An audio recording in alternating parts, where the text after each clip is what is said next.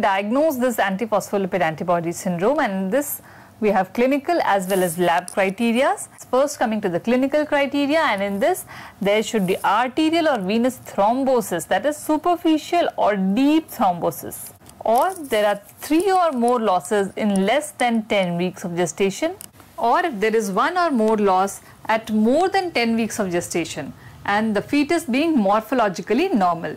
And the fourth criteria is that at least one preterm delivery if it is present secondary to severe PIH or uteroplacental insufficiency, then we term it as a part of APLA syndrome.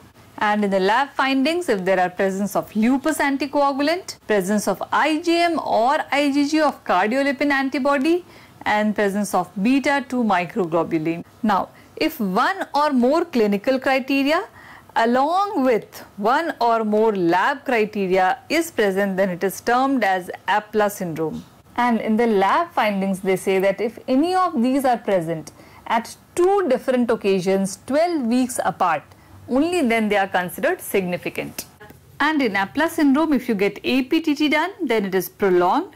The PT values they are normal and Russell Viper venom time it is increased and this is termed as revised Sapporo criteria.